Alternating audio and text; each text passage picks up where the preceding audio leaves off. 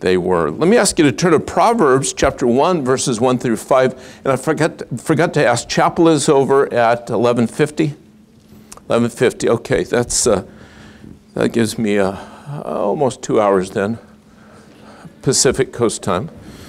So uh, uh, I will get hungry, so we'll quit sooner. So, Proverbs chapter 1. How many of you read a chapter in the book of Proverbs every day or have done so at some point in your life?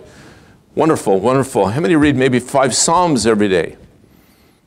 Um, okay, there's several ways to do that. Psalm 1 through 5 on the first day, 6 through 10 the second day, or uh, you, can, you can do it by 30s because there's 150 chapters, and that's a good way to do it too. But Psalm, uh, Proverbs chapter 1, verses 1 through 5 happened to be in my reading for this morning. I thought, what a good introduction to chapel. Uh, follow with me, if you would, the Proverbs of Solomon, the son of David, king of Israel. And he speaks to knowing wisdom and instruction. Uh, verse 2 to perceive the words of understanding, to receive the instruction of wisdom, justice, judgment, and equity, to give subtlety to the simple, to the young man knowledge and discretion. A wise man will hear and, and will increase learning, and a man of understanding shall attain unto wise counsels. Let's begin with prayer. Lord, thank you for uh, this good day before us. And Lord, this time to again be reminded of the wonderful truths of your word and the wonderful relationship that you want to have with us day by day. Thank you, Lord, for uh, the opportunities of this coming uh, school year in junior, senior high, and college. And uh, Lord, we're grateful for uh, that time, that season of life of uh, of training and yet serving. And uh, Lord, just continue to equip in a wonderful way for your service in whatever days we have left. In Jesus' name we pray. Amen. I've already forgotten the name of the young lady who came up to me ahead of chapel and said, You were here four years ago. And I thought, Four years ago? I can't hardly believe. Four years has passed. Who was that? Right there. Yes. Your name again? Samantha, Samantha McNabb. Are you the one for whom the college remembers save the books? All right, I wanted to, I wanted to reconnect. I don't know how many times those words have rung through my head, and you're going to have to ask her for the story. It's, I, I appreciate her loyalty to books. Uh, I, I kindred spirit. That's all I can say. Just, uh, just a kindred spirit. And uh, thank you, Samantha. I think you kind of buzzed through your name, so I wouldn't make the connection.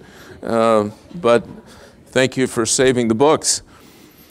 Um, so, five things I want to share with you today, and it's, it's just basic, it's foundational. Um, first of all, I want to speak to you.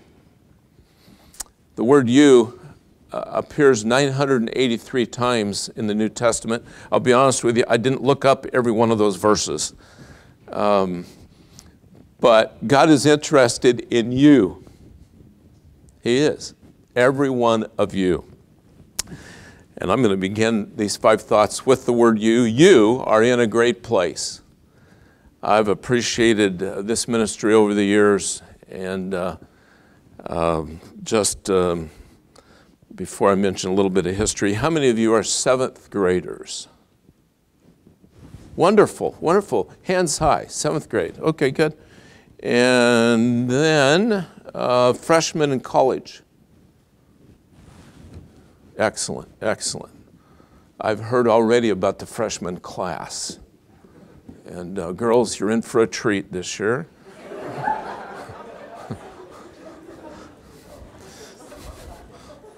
just wait four years or more, okay, or whatever your parents ask of you. Um, but uh, it's a new season of life, especially. If, how many are, are new to the college? Maybe not seventh grader or freshman, but you're new this year to the high school or the college. Good. If you haven't met Nathan Doring, one of those who raised his hand, hailed for some years from Oregon, now moved to the liberal, uh, I mean, conservative state of Idaho. Uh, everybody's leaving Oregon um, as they are California. But um, all in God's plan. And you are from where? Okay, good. Good for you. Good for you for being here. My daughter, uh, before she married the fellow that became my son in law, attended here many years ago. And it was generally about the same time as the Damrons, the Armacosts, and others. In other words, back in the last century. Um, and uh, they thrived here and uh, so enjoyed their time here. And more recently, your pastor's daughter, Jennifer Damron, and Allison Gunsenhauser have joined us in what I'm calling the mission field of Oregon. It is, it is in many respects, indeed, a mission field. Mr. Jericho, whom I understand is in the Chicago area working in a Christian school, helped us a year ago when we were under um, what I'll call COVID lockdown in trying to do a, a modified NBT, um, uh, primarily remotely, but he helped us wonderfully. And then uh, Mr. Colton, um, Mr. Daniel came and joined us with NBT this year, and that brought back old memories because, um, um, let's see, um, David, let's see, David is the son of Mr. Ed Kriego, if I got this right, who was an NBT evangelist somewhere between 25 and 30 years ago. And then um, um, Daniel Hodges, son of Jason Hodges, his father was also an NBT evangelist. So when you get fathers and then 25, 30 years later, sons being NBT evangelists, that's pretty exciting. And uh, the next step is grandchildren coming back and being NBT evangelists. So that's a blessing. But you're in a great place, you're in a great time. It's a time, number two, where you have great potential that God wants to further fine tune and mold and make you. And you're in good company, as others before who in their younger years were greatly used of God. Evan Roberts and his youth group, 1904, Brother Armacost probably remembers that, uh, back in uh, Swansea, um, uh, Wales, saw a, a revival that really uh, spread around the world. And it all started with a young man, Evan Roberts, who just had a heart for God and uh, challenged his young people, and they collectively ended up impacting the church at large and seeing a great, great revival in Wales I had the opportunity to be in Wales. My wife and I were visiting the Leake family years ago when there were missionaries there. And I'll never forget going down to downtown Swansea with Brother Leake while my wife and his wife were fellowshipping. And as we went, uh, we would see burned out cars along the roadway. So, what is this? He said, Well, there's 40% unemployment here, and the young folks are kind of bored and they steal cars, and the more alarm systems they have on them, the more fun it is for them. And the, when the police get close, they bail out, torch the car, and run. And what a mission field. Well, what's happened in a hundred years? You say, well, that's a long time. Well, our life is seemingly for you, maybe stretching out before you to be a long time before you, but life goes quickly. And a heart on fire for God can grow cool if we're not careful. So God used Evan Roberts. God used James Fraser going back in time a little bit to the early 1900s. Uh, also, he was a young missionary from Great Britain, went to the south part of China and worked among the Lisu people up in the hill country. They didn't have a written language. He trekked the hills, and his diaries contain unbelievable accounts of the dangers, of the, the difficulty of the terrain, but he had a heart to share the gospel. And in doing so, he developed a printed language as a young uh, single missionary uh, that's today called the Fraser script. And the Lisu people, one of those major southern people groups in China, uh, spreading down into the southern uh, countries below China as well, especially during World War II, uh, he had an impact that endures even to this day. Some years ago, my wife and I had an opportunity to be in southern China, Kunming, visiting with a missionary, and he told us this story. He said, My, my, my, my children, who were teens, were able to go up into the hill country of outside Kunming, southern China, and visit the Lisu people. And, and she said they're still using the hymnals he collected. He was very musical. He collected and put into their language for the Lisu people. They're using it even to this very day, 80 plus years later. Young person, making an impact. You have energy. You have, as God gives you vision, you can maintain that focus for souls. And uh, thank you, by the way, those who signed up to help with setup tomorrow afternoon. That's just volunteering to be part of a ministry that is trying to do something for God, and you are doing something for the Lord here. Well, uh, Eric Liddell would be another young man greatly used of God. He, uh, he just purposed that he was going to honor God with his running, and uh, because he didn't want to run on Sunday, uh, they assigned him another event in the Olympics. He ended up winning a gold in a different event than was his event, as I remember the story.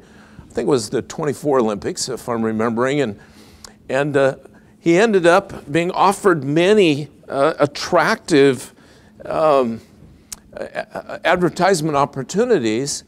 And he said, No, I, I just feel like uh, I need to return to China, my roots, where my parents were missionaries, and uh, spend my life for the cause of Christ. We had a lady come to visit our church, gave her testimony on a Wednesday, uh, Sunday night maybe. Her name was Mrs. Horton.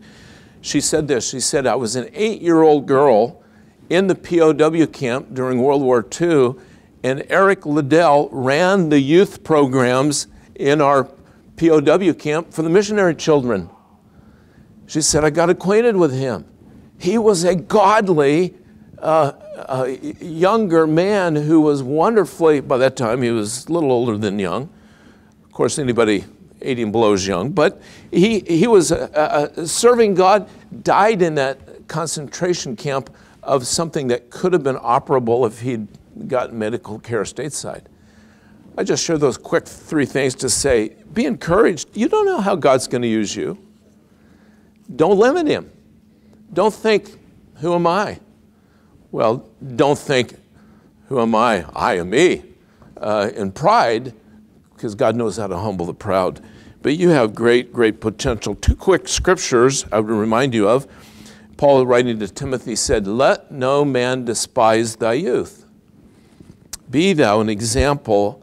And notice these things that he mentions in word, in conversation, manner of living, in charity, in attitude of a heart of love, in spirit, in faith, and purity.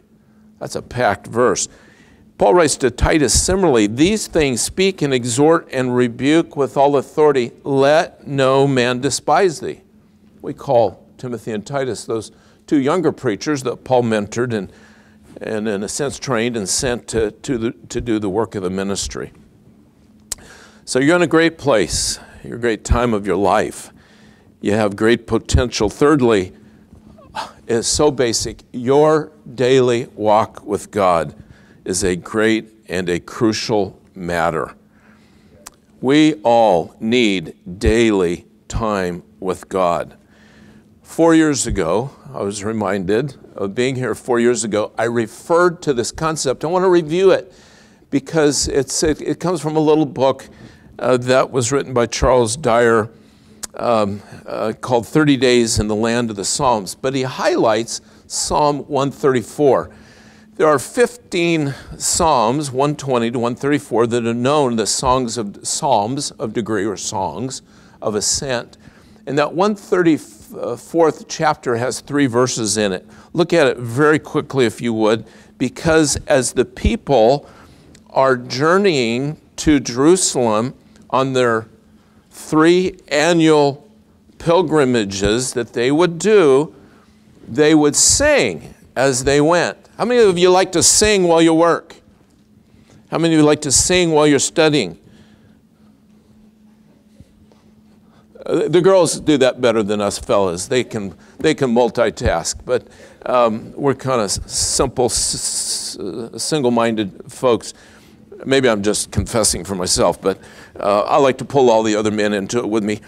Um, we, we, we need to focus on, on God and His Word and stick to the basics, and we need to be reminded of some things.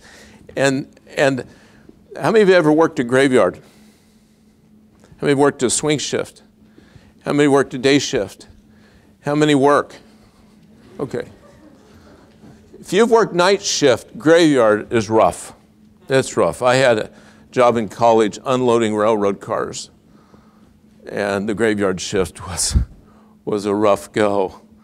And, uh, and there were some people in Jerusalem that had night shift. Look at Psalm 134, if you would. This psalm, we believe, comes about, it's one of the songs that they sang as they would travel up to Jerusalem and as they would return back home. But it's a psalm that has to do with their departure from Jerusalem. Look at it if you would. Behold, and let, let me tell you who's speaking. The people are speaking to the priests. Okay, verses 1 and 2. Behold, bless ye the Lord, all ye servants of the Lord, which by night stand in the house of the Lord. What are the priests doing standing by night in the house of the Lord? Well, to understand that, we go to Exodus chapter 27. Let me just read verses 20 and 21. Thou shalt command the children of Israel that they bring the pure oil olive beaten for the light. Notice this to cause the lamps to burn always. In the tabernacle of the congregation, without or outside the veil, which is before the testimony, Aaron his son shall order it from evening to morning before the Lord. Goes on to say, It shall be a statute forever under the generations on the behalf of the children of Israel.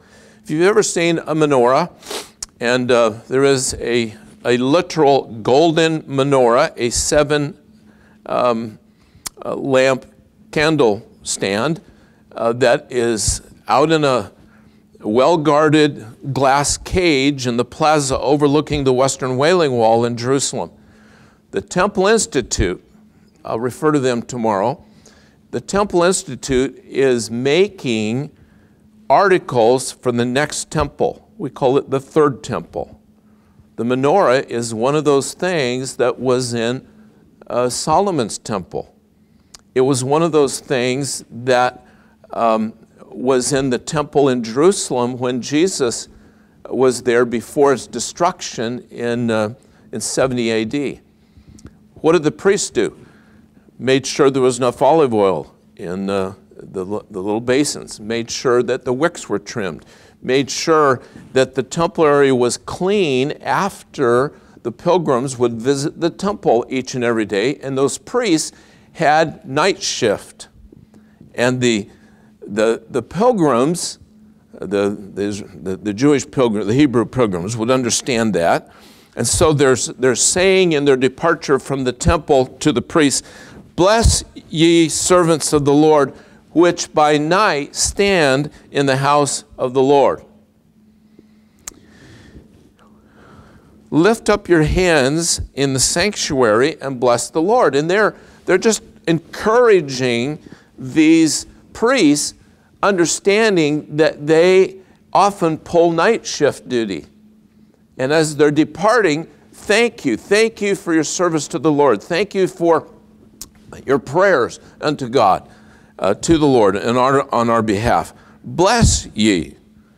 And so, as um, they depart, then the priests respond in verse 3 The Lord that made heaven and earth bless thee out of Zion. Those who know Hebrew music have come to the conclusion that this is kind of the sense of way this, this psalm was used. So think of it as these priests are pulling night shift, they are doing service unto the Lord. And in their night shift work unto the Lord, they are acknowledging that God is central and key in their lives and in the lives of the people. We need that same, same mindset. I, uh, I, I, have um, four men right now that I am uh, have uh, some daily accountability, and it's very simple, just a prayer emoji. When I start my time with God, I, I send one prayer hand. When I finish, I send two, and and uh, and they reciprocate. We don't always even send a verse, often we'll do. But um, one particular younger man, every once in a while I'll notice some days go by and I'm not hearing much, and, and I'll, uh, I'll say something really tactful like, Are you starving? You know, are, you, are you getting your daily bread spiritually? Or I'll, I'll text something like this um, no, no, no Bible, no breakfast. No Bible, no bread. And then I found out one of his, um, one of his favorite little uh, delights are crumble cookies. And so I texted him, uh, no Bible, no crumble cookies. Trying to make it as pertinent and as straightforward as I can. And uh, I got the freedom to do, to do that with him because he's related to me. Well, um, accountability is so important. We need daily time with God. God puts it this way Abide in me, and I in you. As the branch cannot bear fruit of itself, except it abide, abide in the vine, no more uh, can, uh, can ye. We need that time with God. And so it's important. I, I, I have a, a, a gentleman's farm. It consists of one grapevine and a few other odds and ends. Uh, a couple weeks ago, a deer, two deer came wandering through our backyard. We live in the city, sort of, and and they were chomping on roses. They were chomping on our grapes. They were chomping on on um, our raspberries. They were chomping everything they could find. And I, I, went out to scare them away, and they were having such a good time they wouldn't scare until one scared me. He jumped out from under the, the end of the deck. He was catching a little snooze. And, and I went out to see what the damages were, and I, I ended up clipping some ends of those vines. And a couple days later, you know, they're, they're dying, they're dead, they're on the ground. Why? They're not attached to the vine anymore. And we're going to dry up and wither and become very unproductive if we're not attached to the vine. Um, the, the, a couple verses later, John 15 says, If you abide in me and my words abide in you, you shall ask what you will, and it shall be done unto you. Now, that's learning to pray in harmony with uh, the Word of God and as the Spirit of God prompts us. It's amazing how prayer warriors have that reputation of discerning the will of God, learning to pray within the will of God, and even ahead of time saying, I believe God's got the answer already on the way. God wants us to grow to that place where we have that kind of, of growing relationship with Him. Now, to have time with God every day is going to involve responding to the work of the Holy Spirit. Paul said in Acts 24 16, Herein do I exercise myself to have always a conscience void of offense toward God and toward men. How many of you have roommates this year? Glorious roommates. They're wonderful. But I'll, I'll, I'll just remind us everybody has idiosyncrasies. What's an idiosyncrasy? something my roommate does, I don't, and it irritates me. We all have them. Even in marriage, there will be idiosyncrasies between your spouse and yourself. And uh, it, it's just, it, it's God's character building time. I, I, I've, I could tell you about two roommates I had, but I don't have time to do it. Just say God does a wonderful work of grace, probably looking back on it, more in him than me. But uh, it's a time where you got to keep your conscience clear. You've got to just just make sure that as best you can, your spirit is right one with another. And then, in this matter of daily walking with God, let me give you a little bit of vision and don't misuse these verses. Psalm 119, verse 98 says that it's through God's commandments that He will make you wiser than your enemies. We like that. The next verse says, verse 99, that you will have, be careful, more understanding than your teachers. Don't misuse that. Um, I, I think the context there, as you look at the verse, simply has, has to do with the fact that as you learn under those here who are teaching, mentoring you, um, and then you think about it, that verse says, because you meditate on God's testimonies. You see how God has worked out in a life of those who are teaching you, and you learn from them. And every one of us who teach others want people to go further than we want ourselves. Parents want that, teachers want that. I had a, had a professor in, uh, in college, and I enjoyed him, but the reality was he was dry. His, his, his, uh, his expertise was history, and he had a wonderful monotone voice. And uh, uh, I would sit there, and, uh, and I was, uh, I was uh, serving in a church 30 minutes away. I was driving school bus four hours a day. I was testing out of some other classes and I'd get sleepy. And one day, like I see one young man right now, just, just a little eyes a little closed there, um, just kind of wondering if he can keep them open because he's been working hard. And I found myself falling out of my chair. And as I fell, I spotted my pencil that fell ahead of me, and I made a point of picking it up.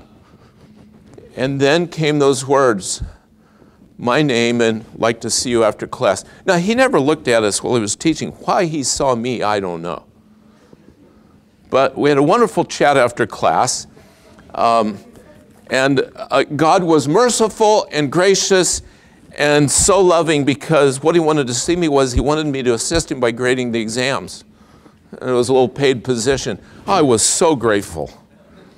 God blinded him uh, momentarily but uh, uh, Dr. Mitchell in the back, he may not blind him. He may, he may see you as he's teaching. What, what, what I'm saying is, as I served him, I'll never forget a little statement he had on his desk. No one much went into his office, but he said, I met my classes. Got to thinking, he's a faithful man. And by the way, as I endeavored to listen, the guy had a wealth of knowledge. He really was. He really knew his stuff. I met my classes. I was faithful. Been challenged by that. I hope you meet your classes, not just physically, but you're giving attendance. And then as you learn, you put it into practice. Number four, quickly, I've only got an hour 30 left. All right. You, you, your daily walk with God is great and of a crucial matter. Four, you learn from those who go before. Um, uh, uh, uh, by the way, verse 100 says, I understand more than the ancients. We stand on the shoulders of those who went before. And I've enjoyed the writings of good folks. Scripture says, He that walketh with wise men shall be wise, but a companion of fools shall be destroyed. 1 Corinthians 10 says, verse 5, with many of them, God's reviewing the history of Israel, God was not well pleased. Why? Because they didn't obey Him. They were overthrown in the wilderness. And then he writes, verse 6 These things were our examples to the intent we should not lust after evil things as they also lusted. Verse 11 says, Similarly, now all these things happened unto them for examples. They were written for our admonition. And then a little warning Wherefore let him that thinketh he standeth take heed lest he fall. So as you're, as you're learning from those who go before, uh, learn. Uh, how many times have we heard teachers or parents say, uh, I learned this the hard way. We say, wow, tell me, I don't want to go learn that the hard way. We learn from those who go before. And the Bible is full of examples of those who knew but did not do. One of the key ones was Solomon. Knew, wisest of men. And yet he didn't do what he knew and uh, shortly after his death, the kingdom split and was never the same again. So um, let us learn from those who go before. And then, number five, decision point. What am I going to do? Am I going to take my time with God each day? Am I going to listen and learn and ap- apply that which has come my way from others? We need to know the Lord. We need to grow in Him. We need to let Him help mow the weeds out of our life. We need to walk in daily obedience or we will grieve Him and He cannot work through us like He would like to. We limit Him. We even bring consequences of living in the flesh our way.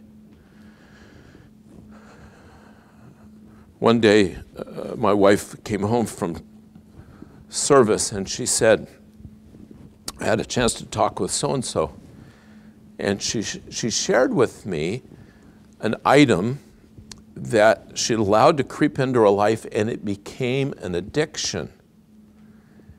And my wife had an opportunity just to share with her some things about getting victory and freedom from an addiction. And there's all kinds of things that become addictive, all the way from drugs and alcohol and pornography to an overused hobby. Um, let me caution, and I know, I know um, the ministry here works hard to help you in the area of using your time wisely. But how many people in the world today are spending hours and hours and hours in video games?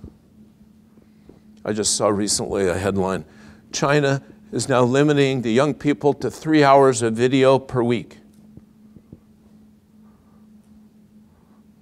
They're seeing the need uh, to use time wisely. Well, uh, I want to close with an illustration of how our decisions will help or hurt us. If you would turn to Ezekiel, I just finished this last Sunday my 30th message from the book of Ezekiel and closed out chapter 48. I thought, as I reflected back on the book of Ezekiel, that there is a thread of something that you might um, find helpful. And this thread has to do with God's faithful working with Israel. And Ezekiel was a prophet who had been taken captive during the second invasion by Nebuchadnezzar in, in, uh, against Jerusalem. And he's on the uh, bank Chebar. It's it's called the river. It's, it was a canal type river in, uh, in Babylon.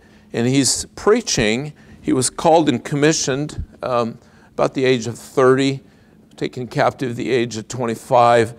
And there's a series of messages that come throughout the book of Ezekiel. And um, the book of Ezekiel is, is warning after warning after warning, and he is preaching to the captives. Now, you'd think if you'd been taken captive, you'd be more receptive to truth. But he had, most of the people just came to hear what new thing he was going to share from God, but they didn't have any intention of obeying it. And the messages had to do up through chapter 24 as to what God is going to do in Jerusalem shortly. And God is warning the people in Jerusalem, you are going to be invaded, and Jerusalem's going to be uh, ransacked and basically destroyed. The in resident prophet you've heard of, contemporary of Ezekiel, was Jeremiah. He's called the weeping prophet. Why? He wept over the sins of the people, and the majority of whom would not repent and get right with God and then do right. And sure enough, the bottom line of that story was Jerusalem fell, just like God prophesied it into the future. Let me take you through a little sequence, if I could, very briefly. And I see the clock is fast forwarded till our closing time. But let me share this so quickly with you. In verse number four of chapter eight, the glory of God was there. Where? In Jerusalem. The mercy seat, the cherubims, the Ark of the Covenant, the glory of God manifested by cloud uh, by day, a pillar of fire by night. The glory of God was there. Chapter 9, verse 3 The glory of God of Israel was gone up from the cherub to the threshold of the house. What's happening? The Spirit of God was grieved because of the sin of the people. In fact, God highlights in chapter 7 and 8 70 men plus women who are worshiping uh, Tammuz, the Babylonian fertility god, who's going to take them out anyway. Um, and he says the glory of God uh, was, was on the threshold of the house. The glory, the physical manifestation of God moved from the place of the Holy of Holies that spilled out into all of the, the temple and is now at the threshold, the, the, the doorway. And, and God is helping Ezekiel to understand that, that when people sin, it grieves God and he, he, he departs. And for us, it's not that we lose our salvation, we lose our fellowship, we lose our communion, we lose our, our, our power of seeing uh, uh, God answer prayer and being used in the lives of others. Chapter 10, the glory of God went up from the, uh, the threshold, stood over the threshold of the house. But in verse 18 of chapter 10, the glory of God departed from off the threshold of the house. And when you get down to verse number 23 of chapter 11, the glory of God went up from the midst of the city and stood upon the mountain. What's happening? The Spirit of God is, the glory of God is retreating.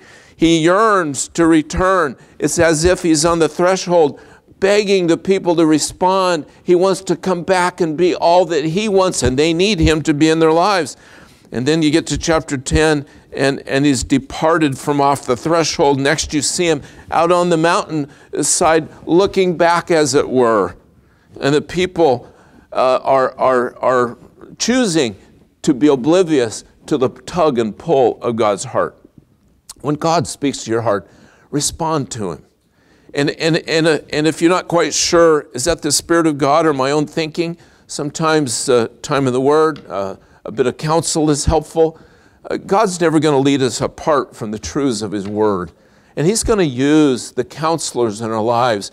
And, and many of you are kind of away from home now, but you have the capability to touch and base with home.